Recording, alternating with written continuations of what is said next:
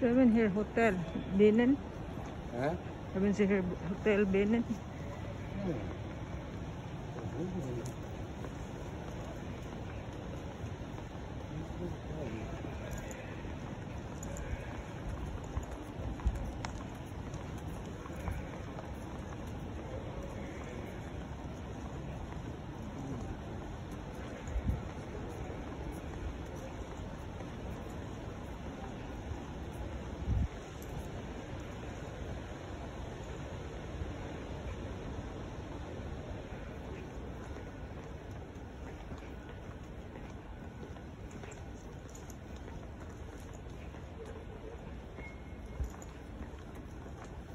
mm